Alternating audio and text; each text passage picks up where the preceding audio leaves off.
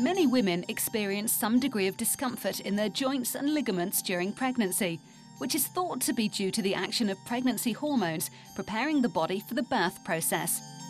This is perfectly normal, and rest will usually give some relief. But there is a condition known as symphysis pubis dysfunction, which is much more painful and in some women even results in them resorting to using crutches or a wheelchair. The pain experienced is felt especially in the pubic bone, just in front of the bladder. It's related to hormones softening up the ligament and it predominantly affects a woman's mobility, particularly towards the end of pregnancy. So if the normally rigid pelvic girdle becomes much more movable, then walking around feels much more unstable and is much more painful. It was nasty. It was you. You were almost scared to walk because you didn't know whether your pelvis was just going to give in. Because every every step you took, the, the, pressure you felt and the, the pain. It was the pain. I, I can't describe it. Um, but all you feel like is if your pelvis just wants to give in. Um, and then you have to sort of stop and like hold on to something to, to try and let the pain pass just a bit, a bit, so you can just get to where you've got to go. It's the worst pain I've ever been through. I haven't had the baby yet, so I'm not going to say anything. the major pain I find for me is down the very front where the pubic bone is. It feels like it's grinding and it's just quite painful. I normally get pain in my hips and in my back as well.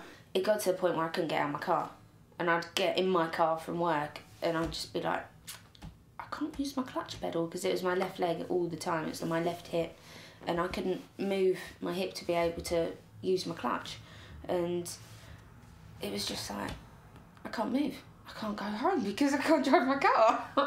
you always feel as if you're going to collapse, if, if as if you, the top of your legs are just going to give in and collapse. Like your pelvis area, you just feel it wants to just tumble. I could be walking around the house and then I just can't walk out and have to pigeon step everywhere or go on my my knees to to get where I'm going.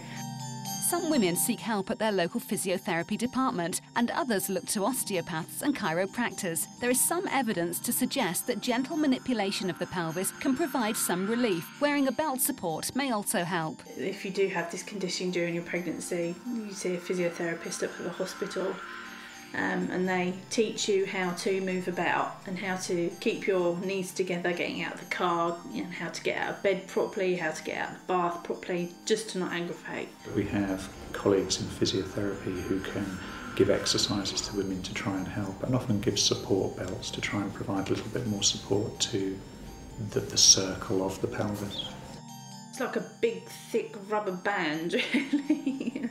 Um, just a white belt with a velcro bit on it which you just stick around your back and just under your bump just just to hold your pelvis together and, and you do get a lot more comfort out of that. I mean I, I think um, pregnant women use them anyway just to help with backache and stuff but but for this for the condition it, it it's very good Although symphysis pubis dysfunction can be very painful for the mother, it doesn't affect her growing baby. It doesn't affect the development of the baby or the progress of the pregnancy, and it almost always completely recovers very soon after the birth.